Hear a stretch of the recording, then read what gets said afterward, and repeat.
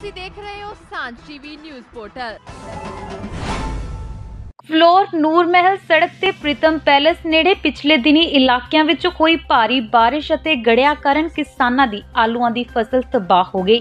ਕਿਸਾਨ ਸੁਲੱਖਣ ਸਿੰਘ, ਪੁੱਤਰ ਨਿਰਮਲ ਸਿੰਘ, ਵਾਸੀ ਨੰਗਲ ਫਲੋਰ ਨੇ ਕਿਹਾ ਕਿ 25 ਕਿੱਲੇ ਆਲੂਆਂ ਦੀ ਫਸਲ ਤਬਾਹ ਹੋ ਗਈ ਹੈ। ਹਜੇ ਤੱਕ ਸਾਡੀ ਨਾ ਕਿਸੇ ਸਰਕਾਰ, ਨਾ ਪਟਵਾਰੀ, ਨਾ ਤਹਿਸੀਲਦਾਰ ਕਿਸੇ ਨੇ ਸਾਡੀ ਬਾਹ ਨਹੀਂ ਫੜੀ। ਇੱਥੇ ਸਾਡੇ ਖੇਤ ਦੀ ਗਦਾਵਰੀ ਕਰਨ ਕੋਈ ਨਹੀਂ ਪਹੁੰਚਿਆ। ਉਹਨਾਂ ਸਰਕਾਰ ਤੋਂ ਅਪੀਲ ਕੀਤੀ ਕਿ ਸਰਕਾਰ ਸਾਡੀ ਮਦਦ ਕਰੇ। ਅਤੇ ਭਾਈ ਸਾਹਿਬ, ਮੇਰਾ ਨਾਮ ਸਾਸ ਲਖਣ ਸਿੰਘ ਜੀ, ਪਿੰਡ ਨੰਗਲ, ਤਹਿਸੀਲ ਫਲੌਰ, ਜ਼ਿਲ੍ਹਾ ਜਲੰਧਰ ਤੋਂ। ਭਾਜੀ, ਜਿਹੜੇ ਆ ਗੜਾਮਾਰੀ ਹੋਈ ਆ, ਜ਼ਿਆਦਾ ਬਾਰਿਸ਼ ਹੋਣ ਕਰਕੇ ਤਕਰੀਬਨ ਤਕਰੀਬਨ ਮੇਰੇ 25 ਖੇਤ ਆਲੂ ਸੀ, ਜਿਹੜੇ ਮੈਂ ਲਾਏ ਹੋਏ ਸੀ।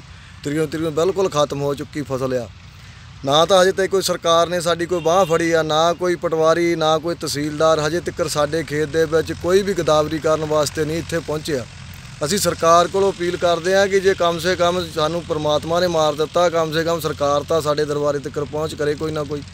ਨਾ ਸਾਨੂੰ ਕੋਈ ਇਹਦੀ ਖਾਦ, ਨਾ ਕੋਈ ਸਾਨੂੰ ਇਹਦੀ ਦਵਾਈ, ਉੱਤੋਂ ਅਸੀਂ ਆਹ ਦੇਖੋ ਟਰੈਕਟਰ ਚਲਾ ਕੇ ਸਾਰੇ ਖੇਤ ਦੁਆਰਾ ਵਾਹ ਕੇ ਨਵੀਂ ਫਸਲ ਬੀਜਣ ਵਾਸਤੇ ਤਿਆਰ ਕਰ ਰਹੇ ਹਾਂ।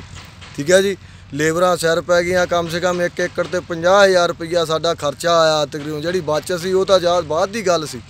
ਜਿਹੜੀ ਤਕਰੀਬਨ ਤਕਰੀਬਨ ਸਾਡੀ ਲਾਗਤ ਸੀਗੀ, ਸਾਡੀ ਤਾਂ ਲਾਗਤ ਵੀ ਨਹੀਂ ਮੁੜੀ। ਠੀਕ ਹੈ ਜੀ? ਅਸੀਂ ਸਰਕਾਰ ਕੋਲੋਂ ਜ਼ੋਰ ਦੇ ਕੇ ਅਪੀਲ ਕਰਦੇ ਹਾਂ ਕਿ ਸਾਨੂੰ ਗਾਂ ਵਾਲੀ ਫਸਲ ਵਾਸਤੇ ਕੋਈ ਮੁਆਵਜ਼ਾ ਦਿੱਤਾ ਜਾਵੇ, ਜਿਹੜਾ ਅਸੀਂ ਬੀਜ ਕੇ ਕੋਈ ਆਪਣੇ ਘਰ ਦਾ ਧੰਦਾ ਬੰਦਾ ਚਲਾ ਸਕੀਏ। ਸਾਰੇ ਆਲੂ ਬੀਜੇ ਸੀਗੇ। ਤਕਰੀਬਨ ਅੱਜ ਇਸ ਪਲਾਟ ਦੇ ਵਿੱਚ 20 ਕਿੱਲੇ ਏਕੜ ਜ਼ਮੀਨ ਇਹ ਸਾਰੀ ਤਿੰਨ ਤਕਰੀਬਨ ਆਲੂ ਦਾ ਹੀ ਖੇਤੀ ਸੀਗੀ ਜੀ। ਭਾਰਤੀ ਕਿਸਾਨ ਯੂਨੀਅਨ ਦੇ ਪ੍ਰਧਾਨ ਬਲਵਿੰਦਰ ਸਿੰਘ ਨੇ ਦੱਸਿਆ ਕਿ ਸੁਲੱਖਣ ਸਿੰਘ ਦਾ ਘੱਟੋ ਘੱਟ 30 ਤੋਂ 32 ਲੱਖ ਦਾ ਨੁਕਸਾਨ ਹੋ ਗਿਆ ਹੈ। 50000 ਇੱਕ ਏਕੜ ਤੇ ਖਰਚ ਆਉਂਦਾ ਹੈ। ਉਹਨਾਂ ਕਿਹਾ ਕਿ ਹਜੇ ਤੱਕ ਨਾ ਜ਼ਿਲ੍ਹੇ ਦੇ ਉੱਚ ਅਧਿਕਾਰੀਆਂ ਅਤੇ ਲੋਕਲ ਪ੍ਰਸ਼ਾਸਨ ਕਿਸਾਨ ਦੀ ਸਾਰ ਲੈਣ ਨਹੀਂ ਪਹੁੰਚੇ। ਉਹਨਾਂ ਸਰਕਾਰ ਤੋਂ ਅਪੀਲ ਕੀਤੀ ਕਿ ਤੁਰੰਤ ਕਾਰਵਾਈ ਕਰਕੇ ਸਾਨੂੰ ਬਣਦਾ ਮੁਆਵਜ਼ਾ ਦਿੱਤਾ ਜਾਵੇ। ਭਾਰਤੀ ਕਿਸਾਨ ਯੂਨੀਅਨ ਪ੍ਰਧਾਨ ਬਲਾਕ। ਮੈਂ ਇੱਥੋਂ ਲੰਘ ਰਿਹਾ ਸੀਗਾ ਤੇ ਇਹ ਸੁਲੱਖਣ ਸਿੰਘ ਸ- ਨੰਗਲ ਤੋਂ ਆ। ਇਹ ਆਲੂਆਂ ਦੀ ਬਾਈ ਕਰ ਰਿਹਾ ਸੀ ਮੈਂ ਉਹਨੂੰ ਆ ਕੇ ਪੁੱਛਣ ਲੱਗਾ ਵੀ ਤੁਸੀਂ ਆਲੂ ਜਿਹੜੇ ਖੇਤ ਦੇ ਵਿੱਚ ਇੱਦੇ ਕਾਤੇ ਬਾਹਰ ਆਏ ਹੋ। ਇਹਨੇ ਹੁਣ ਦੇਖਿਆ ਮੈਨੂੰ ਦਿਖਾ ਲਿਆ ਤੇ ਮੈਂ ਪੱਤਰਕਾਰ ਨੂੰ ਸੱਦਿਆ, ਇਹਨੂੰ ਪੁੱਛਿਆ ਵੀ ਕੋਈ ਤੈਨੂੰ ਪੁੱਛਣ ਆਇਆ, ਕੋਈ ਗਦਾਵਰੀ ਦਾ ਜਾਂ ਕੋਈ ਹੋਰ, ਕਹਿੰਦਾ ਮੈਨੂੰ ਕੋਈ ਨਹੀਂ ਪੁੱਛਣ ਆਇਆ ਵੀ ਮੇਰੀ ਕਿਸੇ ਤਰ੍ਹਾਂ ਬਾਹ ਫੜੋ। ਬਾਹ ਫੜੋ ਮੈਂ ਪੱਤਰਕਾਰ ਸੱਦਿਆ ਆ ਪੱਤਰਕਾਰ ਨੇ ਆ ਕੇ ਦੇਖਿਆ ਆ। ਉਹਨਾਂ ਨੇ ਵੀ ਦੇਖਿਆ ਵੀ ਅਸੀਂ 20 ਖੇਤ ਆਲੂਆਂ ਦੇ ਜਿਹੜੇ ਬਾਹਰ ਆਏ ਆ ਔਰ ਘੱਟ ਤੋਂ ਘੱਟ ਨਹੀਂ ਤੇ 25 30 ਲੱਖ ਦਾ ਨੁਕਸਾਨ ਬੰਦਿਆ ਹੋ ਗਿਆ। 50000 ਰੁਪਈਆ ਇੱਕ ਏਕੜ ਤੇ ਖਰਚ ਆਉਂਦਾ ਆ।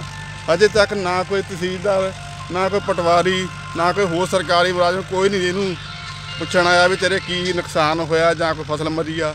ਉਦੋਂ ਇਹਦੇ 10 12 ਖੇਤ ਕਣਕ ਦੇ ਵੀ ਦੱਸਦਾ ਜਿਹੜੀ ਕਣਕ ਵੀ ਇਹਦੀ ਆ ਉਹ ਵੀ 10 12 ਖੇਤ ਮਰ ਗਈ ਆ। ਔਰ ਇਦਾਂ ਹੁੰਦਾ ਜਿਹੜਾ ਟੋਟਲ ਕੁੱਲ ਟੋਟਲ ਕਿੰਨਾ ਕੁ ਨੁਕਸਾਨ ਹੋ ਗਿਆ ਇਹਨਾਂ ਦਾ? ਟੋਟਲ ਦਾ ਘੱਟੋ ਘੱਟ ਨਹੀਂ ਆ ਜੀ 30 32 ਲੱਖ ਰੁਪਏ ਦਾ ਨੁਕਸਾਨ ਹੋ ਗਿਆ।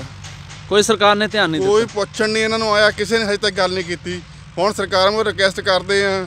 ਹੁਣ ਕੱਲ ਨੂੰ ਜਾਵਾਂਗੇ ਉੱਥੇ ਜਾ ਕੇ ਇਹ ਵੀ ਗ- ਇਹ ਗੱਲ ਕਰਾਂਗੇ। ਚੰਡੀਗੜ੍ਹ ਘਰਾਓ ਕਰਨ ਜਾਣਾ ਆ। ਉੱਥੇ ਜਾ ਕੇ ਗੱਲ ਉਠਾਵਾਂਗੇ ਮੁੱਦਾ ਇਹ ਵੀ।